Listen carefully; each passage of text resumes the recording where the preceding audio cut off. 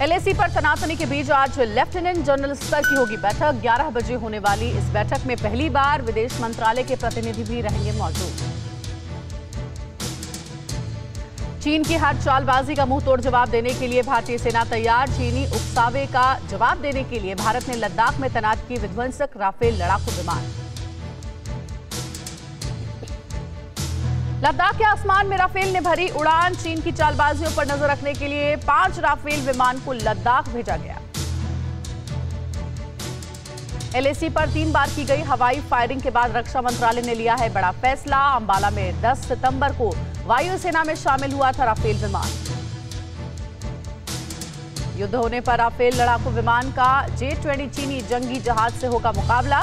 Syria, Afghanistan समेत पाँच युद्धों में राफेल दिखा चुका है अपनी ताकत। जे ट्वेंटी की तकनीक पर पहले से उठ रहे सवाल। भारत के हवाई नाकाबंदी से डरा हुआ है चीन। वायुसेना के electronic control system command network air defence network और एयर कमांड नेटवर्क को निशाना बनाने की फिराक में है चीन। भारतीय सेना ने चीन को फिर किया चित। एलएसी की छह नई पहाड़ियों पर भारतीय जवानों का कब्जा। हार से बौखलाए चीन ने 3000 सैनिकों और बख्तरबंद गाड़ियों को तैनात ऊँची चोटियों को हथियाने के लिए पीएलए के साथ मोलजो गैरिसन दस्ता भी हुआ सक्रिय खतरनाक ऑपरेशन को पूरा करने के लिए जाना जाता है मोलजो गैरिसन। बॉर्डर पर चीन की एक और साजिश का हुआ खुलासा। भारतीय सैनिकों पर घात लगाकर हमले की फिराक में ड्रैगन। सूत्रों के मुताबिक मिनी वॉर को अंजाम देकर एलएसी से भागने की फिराक में है चीन। श्रीनगर से लेह राष्ट्रीय राजमार्ग एक पर कब्जा करने की ताक में है चीन। भारतीय सेना की सप्लाई चेन को तोड़ना है मकसद सियाचिन और डेपसांग से भी भारतीय सेना का संपर्क काटना चाहता है चीन। पूर्वी लद्दाख में मात खाने के बाद चीन ने अरुणाचल में बढ़ाई अपनी हरकतें। छह इलाकों के पास देखे गए चीनी सैनिक, चीन को करारा जवाब देने के लिए इंडियन आर्मी मुस्तैद। एलएसी से ध्यान भटकाने के लिए चीन ने ईस्ट चाइना सी और येलो सी में मिलिट्री ड्रिल शुरू किया। साउथ चाइना सी में पहले से ही घिरा हुआ है चीन।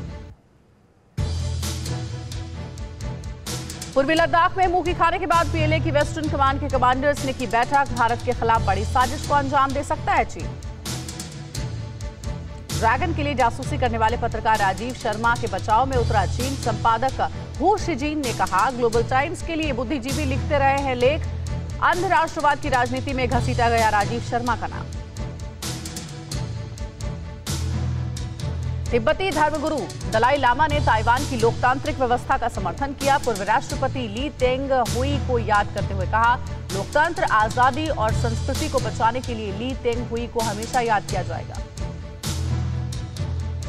नेपाल की ज़मीन पर ओली के दोस्त चीन ने किया कब्जा, घुसपैठ कर नेपाली ज़मीन पर बनाए नौ अवैध बिल्डिंग। चीनी साजिशों के खुलासे के बाद ओली सरकार में हड़कंप।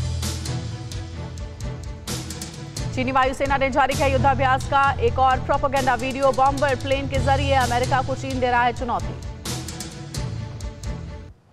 ताइवान और अमेरिका के साथ बढ़ती नजदीकियों से घबराया हुआ है चीन। धमकी देते हुए कहा, ताइवान अमेरिका के बीच हो रही है बातचीत का जवाब देने के लिए उसका लड़ाकू जेट तैयार।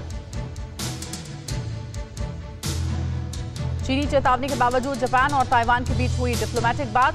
48 साल बाद ताइवान ने जापान से साधा है संपर्क। जापानी प्रधानमंत्री से हुई बातचीत से चीन बौखलाया। अरसे बाद तिब्बत में फिर शुरू हुआ चीन का विरोध। शांसी में चीनी प्रोपोगंडे के लिए सरकार द्वारा जीर्णोद्धार किए गए। 1000 साल पुराने बौद्ध मंदिर को स्थानीय लोगों ने तोड़ा। पेचिंग के एक खुफिया दस्तावेज़ से खुलासा, शिंजियांग प्रांत के डिटेंशन कैंप में 80 लाख उइगर मुसलमान हैं बंद। मुसलमानों के साथ चीन में की जाती है बर्बरता।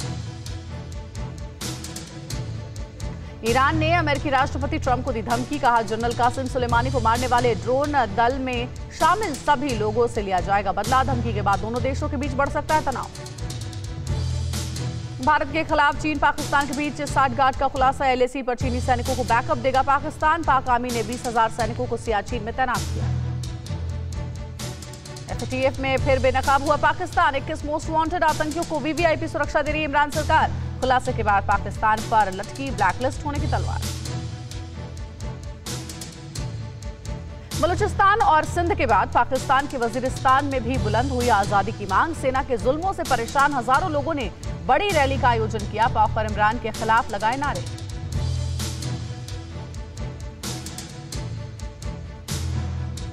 क्या आप पर भी बरपा है जालसाजी का कहर? सपने टूटे आपके, न घर के, न घाट के।